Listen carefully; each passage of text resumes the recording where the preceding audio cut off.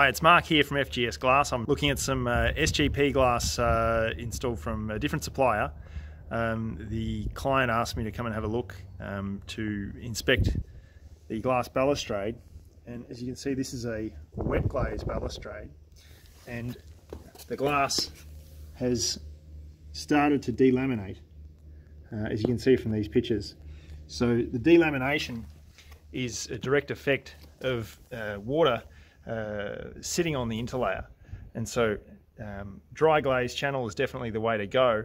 And this wet glaze channel has allowed the water to just absorb into the grout and, uh, and get into the interlayer, starting a delamination process. In this balustrade, the other supplier has chosen to finish the interlayer, the SentryGlas interlayer, uh, below the edge of the glass now this can provide a neater finish in the short to medium term, but can cause big problems. This is a dry glaze balustrade system. However, two of the panels on this particular balcony needed to be replaced due to delamination. And that's because this water really can sit here in this cavity and allow that delamination to propagate.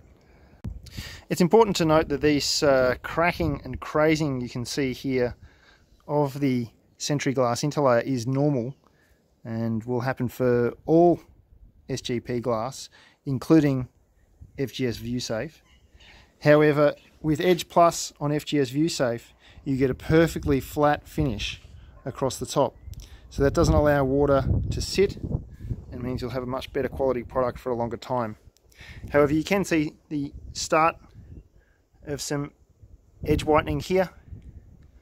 It'll start as uh, what almost looks like a line of um, of bubbles appearing on the top edge of the glass and that's pretty consistent uh, with glass that's installed externally and uh, is not a uh, indication of delamination but rather just the oxidization of the uh, interlayer um, especially when exposed to uh, temperature cycling.